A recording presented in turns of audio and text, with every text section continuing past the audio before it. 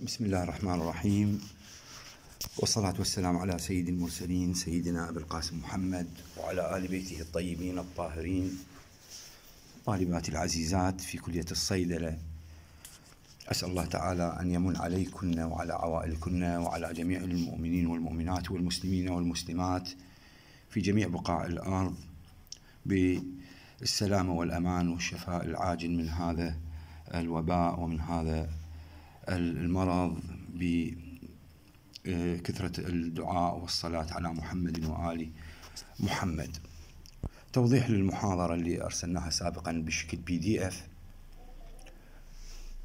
بعض الأمور المذكورة هنا قد تكون هي للاطلاع وأنا راح أوضح يعني.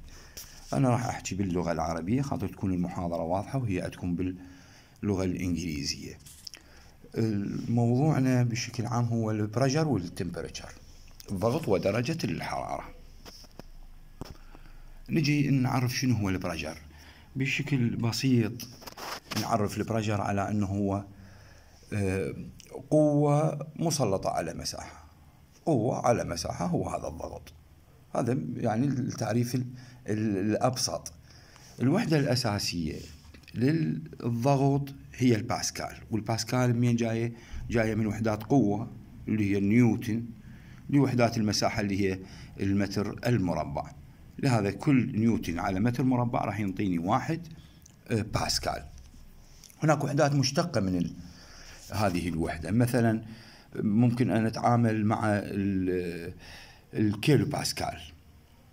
أو ممكن أن نتعامل يعني نعامل الضغط بوحدات البار. وكل بار يعادل 100 كيلو باسكال. وأيضا عندنا وحدة ال atmosphere اللي هو واحد ضغط جو. أو نقول عليه واحد ضغط جوي. atmosphere يختصر ب small atm اللي هو ال atmosphere. وهاي الوحدات اللي أمامنا هنا مثبتة آه، مع هذه المصطلحات اللي هو ال absolute pressure وال atmospheric pressure وال gauge pressure وغيرها ال atmosphere كل واحد atmosphere يعادل 101.32 كيلو باسكال 101.32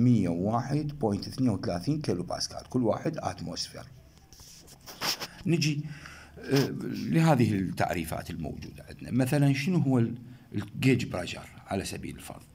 يعني المقياس يعني ضغط الجهاز نفسه. ال gauge pressure وال vacuum pressure اللي هو آه هذه المصطلحات ترتبط بما يسمى بال absolute pressure هذا الخط الأخضر. هذا ال absolute pressure زين؟ يعني أقدر أقيس مثلا ال gauge pressure هذه ال P gauge اللي جاي يشوفوه هذا السهم اللي صاعد من ال atmospheric pressure آه، اللي هو ال atmospheric pressure. من هذا الجراوند إلى الاتموسفيرك هذا اتموسفيرك بريشر الجيج بريشر من الاتموسفيرك بريشر يضاف علما إلى ال absolute pressure فنقدر نطلع إيش قد ال gauge pressure ال atmospheric pressure هو هذا الخط الواسع اللي هو يبدأ من الخط الأسود إلى الخط الأخضر. هكذا بالنسبة إلى ال vacuum pressure زين. الطريقة الأساس لقياس الضغط يكون بدلالة المانومتر. بيش نقيس الضغط؟ بجهاز يسمى المانومتر. هذا المانومتر موضع عندنا هذا بالشكل اللي أمامنا هذا الشكل هذا شكل المانومتر. نعم. خلينا نجي شلون حصلنا على هاي المعادلة اللي موجودة بالمربع المخطط بالاحمر هاي اللي هي المعادله الأخيرة اللي هي P gauge يساوي رو جي اتش يعني ال gauge pressure من محصلة القوى؟ أجي هنا هذه الأسطوانة اللي عندي. من محصلة القوى؟ هذا يعني free body diagram هذا نفسه اللي هنا بهذه البارو المانوميتر. هذا اللي جاي يشوفه أمامكم. هنا راح نرسمه على صفحة كأنما. اللي هو هذا العريض اللي أمامنا. هذا. هذا. نفسه جبناه من من هذا الجزء. هذا الجزء الصغير. جبناه هنا. نجي من محصلة القوى. نسوي فورس بالانس نوازن القوى. محصلة القوى. شو تساوي؟ يعني معناته مجموع القوى إلى الأعلى تساوي مجموع القوى إلى الأسفل. خلينا نشوف شنو القوى اللي عندي الموجودة. القوى من الأسفل هاي الأسهم اللي جاي نشوفها هاي الأسهم الصغيرة الحمر من الأسفل هذه القوى. عندي فقط طبعا قلنا إحنا ال P ال pressure هو قوة على مساحة. لهذا راح إذا ضربت الطرفين بالوسطين يعني F تساوي P على A معناته ال F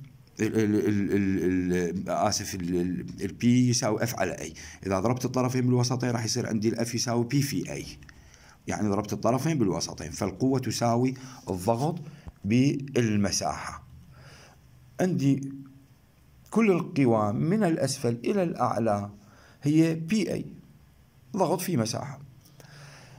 مجموع القوى من الأعلى إلى الأسفل هي ال atmospheric pressure مضروبة في المساحة. معناته بسبب تأثير الضغط الجوي في مساحة هاي الأسطوانة. زائدا ضغط السائل المائع الموجود في هذه الأسطوانة اللي هو عبارة عن رو في في جي الكثافة بالحجم في التعجيل الأرضي. أقدر أستعيض عن الحجم حجم راح أستعيض عنه اللي هو عبارة عن المساحة A في راح أرجع للمعادلة هنا المساحة A في الارتفاع عمود السائل. فإذا راح تصبح عندي هاي المعادلة الأولى هاي المعادلة أول معادلة P A يساوي P atmosphere في A هذا اللي هي القوة الأولى قلنا عليها من الأعلى للأسفل زائدا rho V G ويساوي P atmosphere الضغط الجوي مضروب في A زائدا rho شلت ال V من الحد الثاني شلت ال V هنا واستعاضيت مكانها مساحة في ارتفاع اللي هو اتش في اي في جي أصبح عندي كل الطرفي المعادلة بها A ممكن أن أختصر ال A يبقى عندي فقط ال P يساوي P atmosphere هذا اللي هو بالمربع الأحمر. P الضغط راح يساوي P atmosphere زائدا rho G H هذا ال rho G H اللي هو كثافة المائع أو السائل في التعجيل الأرضي في ارتفاع عمود السائل هو نسميه ال P gauge هو هذا ال gauge pressure نقدر نطلعه من هذه المعادلة. التعجيل الأرضي مثل ما نعرف بنظام الوحدات الدولي اللي هو المتر كيلوغرام ثانية يقاس ب مقداره 9.81 متر للثانية آه، تربيع. هاي بالنسبة إلى الصفحة الأولى. أجي نجي للصفحة الثانية نتبع مع بعض. عندنا في هذه الصفحة بما نقيس الضغط الجوي ال atmospheric pressure ال atmospheric pressure نقيسه بمقياس يسمى مقياس الضغط الجوي الباروميتر. مقياس الضغط الجوي طبعا الزئبقي ال mercury barometer. مقياس الضغط الجوي اللي هو الزئبقي ويسمى بالباروميتر. هذا شكل الباروميتر. هذا الباروميتر. نقيس به الضغط الجوي طبعا عندنا ثوابت هو زئبقي معناته لازم ناخذ كثافة الزئبق بنظر الاعتبار. كثافة الزئبق 13.6 كيلوغرام لكل متر تكعيب موجودة بالمربع الأحمر هذا أمامنا. هاي مقدارها ثابت هذا. أيضا من التجربة تبين إن عمود هذا الزئبق في هذه الأنبوب مقداره H يساوي 760 ملم زئبق. الارتفاع مالته H يساوي 760 ملم هذا الزئبق إحنا جايين H و آه، عندنا التعجيل الأرضي أيضا مقدار ثابت من المعادلات بالصفحة الأولى المعادلة الأخيرة. تبين إنه ال P آه، ممكن أيضا نستخدم نفس المعادلة. ال P ال atmosphere يساوي rho إحنا هسه ال rho المن. للزئبق. عندنا مقداره 13.6 كيلوغرام للمتر تكعيب. G التعجيل الارضي 9.81 متر للثانية تربيع و H آه، عمود الارتفاع عمود الزئبق اللي هو 760 ملم لهذا راح نحصل على ال P atmosphere في هذا المربع اللي أمامنا. من تعويض هاي الثوابت راح يطلع ال P الضغط الجوي هو يعادل 101.32 كيلو باسكال. الضغط الجوي راح يعادل 101.32 كيلو باسكال طبعا هذا حصلنا عليه من تطبيق هذه القيم في هذه المعادلة اللي أمامنا. هذه المعادلة اللي أمامنا. نعم. نجي إلى خلاصة للتعريفات هذه اللي مرت علينا قبل قليل. نعرف الضغط. شنو الضغط؟ هو القوة لوحدة المساحة. الضغط هو قوة لوحدة المساحة. يعني قلنا وحدات نيوتن لوحدات متر تربيع راح ينطيني واحد آه، باسكال. بالنسبة إلى عمود السائل الضغط عمود فد مائع معين الضغط آه، يقاس من نفس المعادلة P يساوي rho G H اعتمادا على نوع هذا المائع فمثلا بالباروميتر قبل شوية قلنا زئبق فاستخدمنا ال rho للزئبق. زين. ال rho هي كثافة المائع. ال G قلنا هي ثابت اللي هو التعجيل الأرضي H هو ارتفاع عمود هذا المائع. نجي عندنا ال gauge pressure شنو هو ال gauge pressure هو الضغط نسبة إلى ضغط قياسي. الضغط ال gauge pressure هو عبارة عن الضغط نسبة إلى ضغط قياسي. هذا الضغط القياسي يسمى الضغط الجوي atmospheric pressure لهذا يعطى من المعادلة ال P gauge يساوي P absolute مطلق هذا ناقصا واحد atmosphere نقدر نحصل على ال P gauge هنا. نجي شنو هو ال absolute pressure ال P A B S small ال absolute pressure الضغط المطلق. هو الفرق بالضغط. هو فرق بالضغط. شو يمثل؟ يمثل صافي القوة لوحدة المساحة. ضغط يعني قوة على مساحة. فهو صافي القوة لوحدة المساحة. إذا أردنا نناقش آه، مثلا ضغط الدم وضغط الهواء في الرئتين راح نفرض إن مصطلح الضغط هنا يشير إلى الضغط المقاس يعني ال gauge pressure نسبة علما إلى الضغط الجوي قلنا. وقلنا ال gauge pressure نسبة إلى ضغط يعني قياسي هو الضغط الجوي. الضغط الجوي هنا نقول عليه ال local atmospheric pressure الضغط الجوي الموضعي. وين إحنا جاي نقيس ضغط الدم؟ موضعي. الرئتين الهواء في الرئتين. هنا أيضا آه، يكون موضعي في هذا الموضع. خلينا ننتقل إلى الصفحة الثالثة. ال pressure ال measurement of in the body بالجسم هسه الضغط بالجسم. مثل ما نعرف أن ضغط الدم يقاس باستعمال جهاز قياس ضغط الدم الشرياني. هذا قياس مال ضغط الدم. اللي هو آه نسميه ال sphygmomanometer sphygmomanometer هذا القياس الضغط اللي موجود عند كل بيوتنا يعني نقيس بهذا الضغط. منين يتألف هذا الجهاز طبعا هذا يعني معلومات يفترض أنه أنا أنطيكم شكل الجهاز لكن هو معروف موجود. معلومات عامة تستفيدون من عندها باعتباركم ذوات التخصص. هذا الجهاز يتألف من الكف. هذا الكف بعض الأحيان يسمونه الهاند آه، كف. اللي هو هذا يعني الثانية أو الطوق اللي يلف على ذراع يعني المريض أو المراجع أو اللي يراد قياس ضغط ضغطة. زين؟ البصلة أو هذا الشكل البصلي اللي نضغطها يضغطها الطبيب اللي يسموها السكويز بالب والعداد الميتر اللي يقيس الضغط بالكف بالطوق.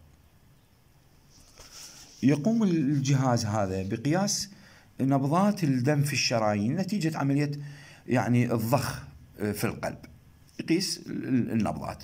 النبضة عبارة عن بيك نبضة يعني شكلها يكون بيك وأكو آه، يعني آه،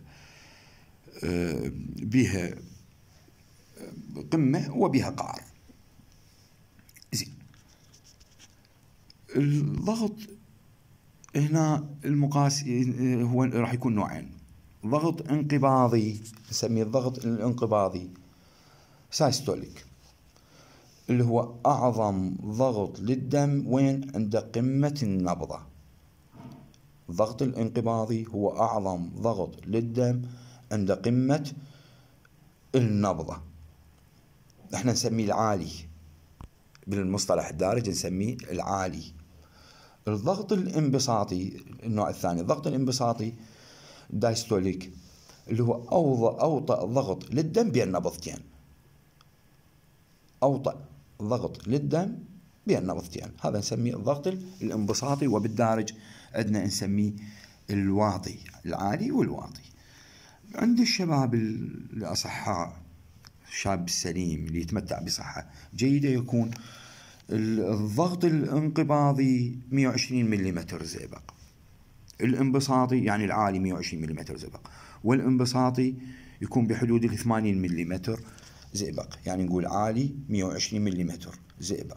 الواطي 80 ملم زئبق. زين. عند جريان الدم إذا صار جريان للدم هاي الفقرة الأخيرة من الصفحة ثلاثة خلال جهاز الدوران فإن الطاقة, الطاقة الأولية اللي يحملها هذا الدم اللي تجهز عملية ضخ الدم. راح تتحلل بطريقتين أو بآليتين. يعني يصير لوز هنا فقدان. النوع الأول من الفقدان هو عبارة عن فقدان أو خسران يرتبط بتقلص وانبساط الشرايين. عملية تقلص وانبساط الشرايين. النوع الثاني يكون عن طريق الجدران. ونتيجة عملية الاحتكاك بسبب لزوجة الدم. وهذا طبعا يرتبط بجريان الدم اللي هي النقطتين مبينة واحد واثنين من نهاية الصفحة ثلاثة. خل أنتقل إلى صفحة أربعة. عندي ملاحظة مهمة هنا في صفحة أربعة. عندما يوصل الدم نعم. عندما يوصل الدم للأوعية الشعرية ال capillaries الجريان هنا يكون بشكل سلس وضغط الدم راح يكون هنا واطي بحوالي 30 ملم زئبق. راح يبقى هبوط الضغط أيضا راح يبقى واطي وين؟ بالأوردة ال veins ويشرف على أن يكون صفر قبل عودته للقلب. تقريبا قبل لا يرجع إلى القلب هذا الدم راح يكون تقريبا الضغط مالته الضغط هنا يكون صفر. إذا كان الشخص واقف بشكل منتصب يعني آه، فإن ضغط الدم في الشرايين يكون مو منتظم في جميع أجزاء الجسم. لا متفاوت قيم ضغط الدم راح تكون متفاوتة. فمثلا معدل ضغط الدم في الشريان اللي يكون موقعه في الرأس بمسافة تبعد 50 سنتيمتر عن القلب راح يكون ضغط الدم بحدود ال 61 ملم زئبق بينما في القدم بمسافة قدم الإنسان المنتصب الواقف بمسافة بالقدم بمسافة 130 سنتيمتر عن القلب راح يكون ضغط الشريان الموجود بالقدم هنا 200 ملم زئبق شوف الفرق هنا يعني بالرأس بحدود ال 61 ملم زئبق. بينما في القدم راح يكون آه، بحدود ال 200 ملم زئبق. نعم. الآن نأتي إلى الضغط في الجهاز التنفسي. Respiratory system. فرق الضغط المميز بين الرئتين والأوساط المحيطة بالرئتين هي بحدود عدة مليمترات من الزئبق. هل قد مليمتر من الزئبق؟ معدل الجريان الحجمي معدل الجريان الحجمي للهواء في الرئتين يكون تقريبا 6 لتر لكل دقيقة. معدل الجريان الحجمي للهواء في الرئتين يكون تقريبا 6 لتر آه، لكل آه، دقيقة. وإحنا طبعا في ظروف يعني هذه الأزمة وهذا الوباء. نسأل الله أن يكون يعني آه، رئتين نظيفة ورئتين كل العالم خاطر يستطيع أن يتنفس بشكل طلق هذا الأكسجين. ننتقل هسه لل pressure inside the skull الجمجمة ضغط داخل الجمجمة. كمعلومة عامة أن الدماغ يحوي تقريبا 150 سنتيمتر تكعيب يعني كحجم هذا. نقول تكعيب معناته حجم. إنه ال brain الدماغ يحوي تقريبا 150 سنتيمتر تكعيب كحجم. يعني مخ ونخاع. يكون بشكل سلسلة متفتحة مترابطة فيما بينها. هذه تسمى بالتجاويف الشوكية. Ventricles أو تدعى بطين الدماغ. في بعض الأحيان يسموها بطين الدماغ. هذه واحدة من هاي التجاويف اللي هي القناة. واحدة من هذه التجاويف التجاويف اللي هي يسموها القناة. aqueduct تكون ضيقة. aqueduct تكون ضيقة. عند الولادة تكون هذه القناة تقريبا مسدودة تكون تقريبا مسدودة والمخ يحبس داخل الجمجمة ويزداد الضغط الداخلي راح يزداد الضغط الداخلي. نتيجة هذا الازدياد بالضغط الداخلي سيؤدي إلى توسع الجمجمة وهذا ما يدعى باستسقاء الرأس. هذه يسمونه يعني عند الأطباء يسمونه استسقاء الرأس. الهيدروسيفالس يسمونه الهيدروسيفالس يعني هذا الأطباء يعني أعرف من عندنا في هذا الموضوع. إحنا يخصنا فقط ما نتحدث عن موضوع الضغط هنا في هذا الجانب. طبعا يكون غير يعني مناسب. قياس ضغط المخ بشكل مباشر. طريقة كشف استسقاء الرأس هو بقياس محيط الجمجمة يقيسون محيط الجمجمة للمولود بالضبط مين من فوق الأذنين من فوق الأذنين هذني الآذان راح يقاس محيط الجمجمة بالضبط من هنا. القيم الطبيعية للأطفال المولودين حديثا لمحيط الجمجمة هو بين 32 إلى 37 سنتيمتر. يقررون يعني الأطباء على هذه العملية اللي تدعى بعملية استسقاء الرأس. نجي آخر فقرة بالصفحة أربعة اللي هو ال eye pressure ضغط العين.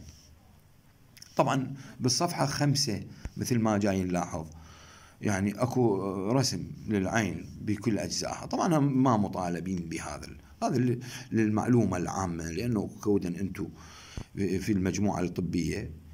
يعني فالشيء بالشيء يذكر كمعلومة عامة لكم فما مطالبين به أجي هنا إلى الفقرة الأخيرة من صفحة أربعة. ضغط العين. ماء العين؟ الكويوس والغشاء الزجاجي للعين الفيتريوس. يكونان تحت ضغط معين. هذا الضغط يحافظ على ثبات شكل وحجم مقلة العين. ماء العين والغشاء الزجاجي للعين يكونون تحت ضغط معين. هذا مقدار الضغط المعين راح يحافظ على ثبات شكل مقلة العين وحجم مقلة العين على شكل وحجم مقلة العين.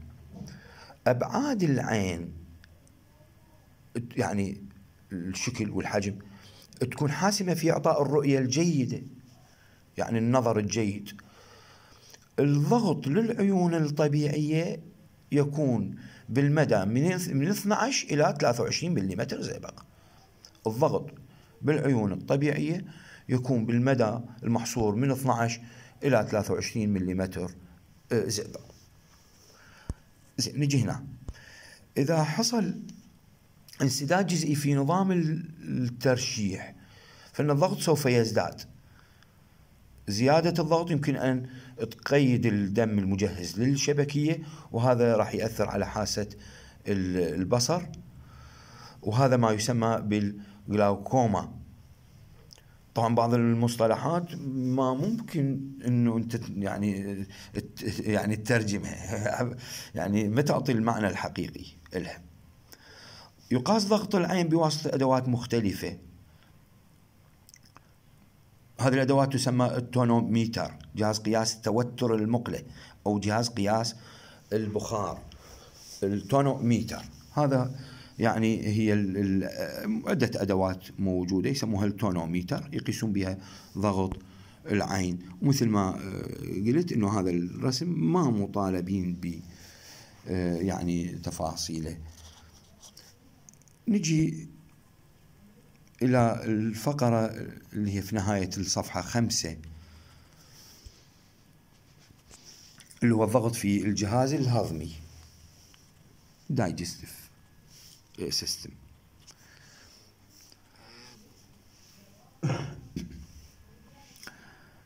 عمليات الدفع في الجهاز الهضمي يكون التصرف مالها يكون بشكل آه، آه، نقول عليه شكل التوائي. بستلاتيك يعني بشكل يعني متموج التوائي. مع تقلص وانبساط عضلي للحلقة القابلة للانقباض حول قناة انزلاق الطعام.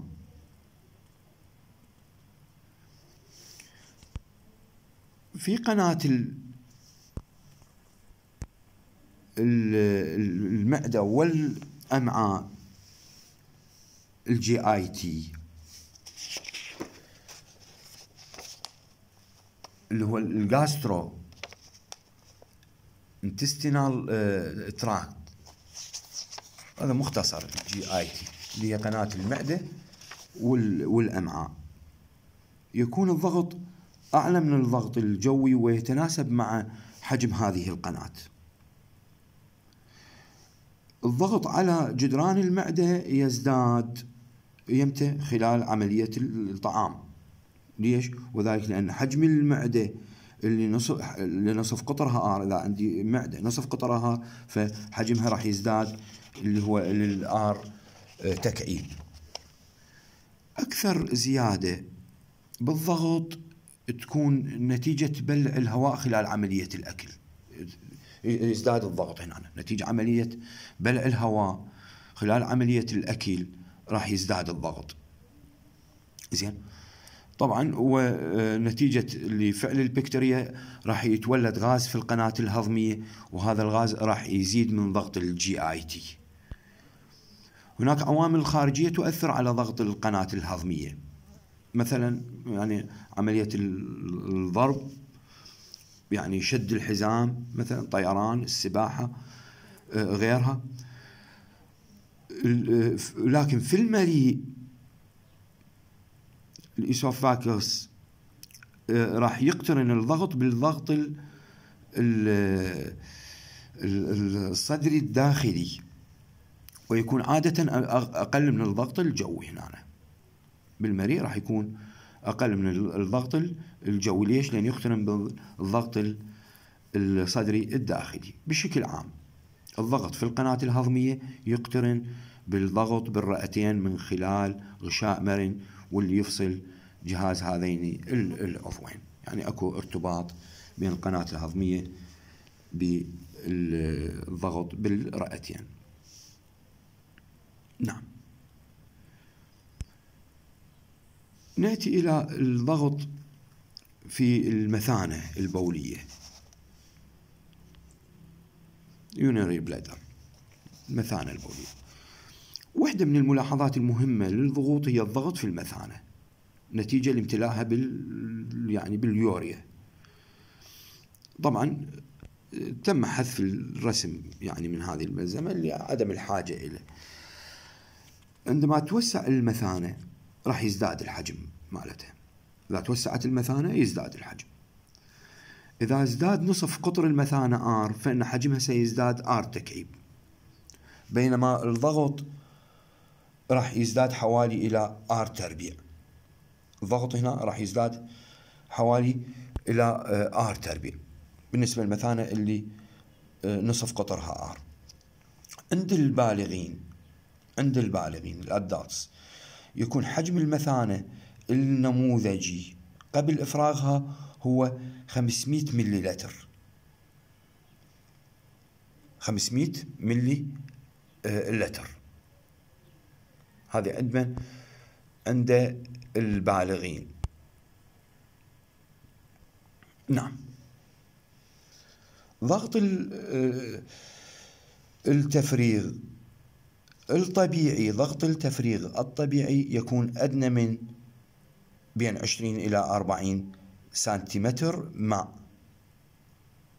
ضغط التفريغ الطبيعي يكون أدنى من الرينج مدى من 20 إلى 40 سنتيمتر آه، مع يتم قياس الضغط بالمثانة بطريقتين. طريقة غير مباشرة اللي هو ال indirect وطريقة آه، مباشرة. بطريقة غير مباشرة وطريقة مباشرة. بطريقة غير مباشرة ال indirect method. بإمرار أنبوبة تفريغ البول من المثانة مع متحسس ضغط إلى المثانة من خلال مجرى البول. الطريقة المباشرة ال direct هو آه، قياس الضغط بدلالة أبرة يتم إدخالها من خلال جدار التجويف في المثانة. يعني طريقتين لقياس الضغط. يزداد ضغط المثانة خلال بعض الممارسات مثلا مثلا نتيجة عملية السعال الكاونج يزداد ضغط المثانة. بالشد مثلا أو الإجهاد.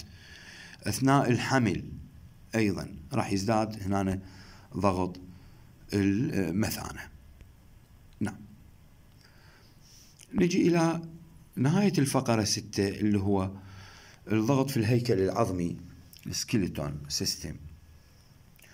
أكبر الضغوط في الجسم تكون في مركز ثقل الجسم. وين يصير ارتكاز الجسم؟ يكون هنا ضغط أكثر ما ممكن. إذا كان كل وزن الجسم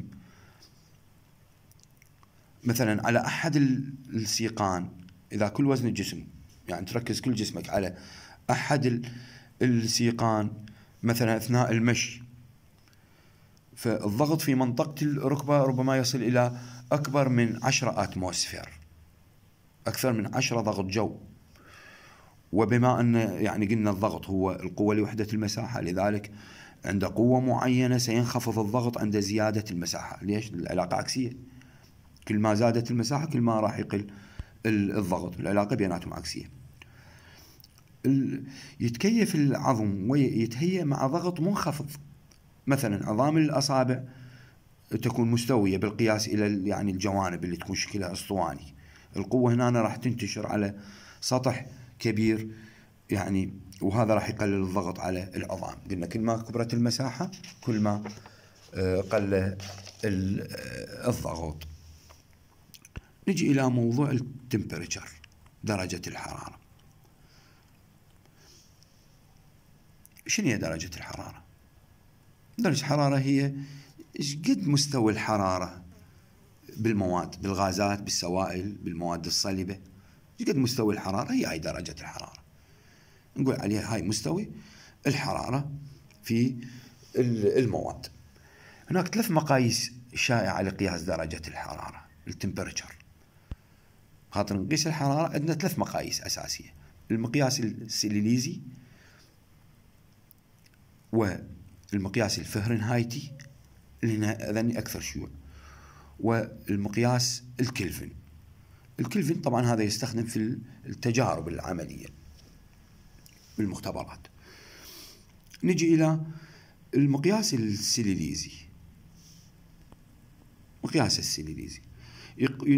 يقسم مدى درجات الحرارة بين انجماد وغليان الماء بين انجماد الماء وغليان الماء إلى 100 جزء هذا ال range بين من بين انجماد الماء وغليان الماء انقسم إلى 100 جزء وهذا راح يشار إلى بالمقياس المئوي السنتيغريت هذه ال C المقياس الفهرنهايتي لا يقسم الفرق بين نقطة الانصهار والانجماد إلمن إلى 180 جزء أو 180 درجة ويشار إلى بالفهرنهايت اللي هو ال capital F مقياس الكلفن هذا يمتد المقياس إلى آه، حتى ما تحت الضغط درجة الصفر المطلق. إلى ما تحت درجة الصفر المطلق يمتد هذا ولهذا هو يستخدم بالتجارب العملية وبالمختبرات. نجي إلى ال converting temperatures تحويل درجات الحرارة. طبعا عندنا هنا ست علاقات لتحويل درجة الحرارة من درجة سيليزية إلى فهرنهايت من الفهرنهايت للسيليزي من الكلفن للسيليزي ومن السيليزي إلى الكلفن من الفهرنهايت إلى الكلفن ومن الكلفن إلى الفهرنهايت. المطلوب من عندنا أنه يعني نحفظ هاي المعادلات. الحين أنا راح أرسل لكم مجموعة من الأمثلة. يعني محلولة ومجموعة من الواجبات اللي إن شاء الله تستطيعون آه، من حلها وهي من ضمن المحاضرة. دعائي لكم بالتوفيق إن شاء الله. شكرا جزيلا. في أمان الله.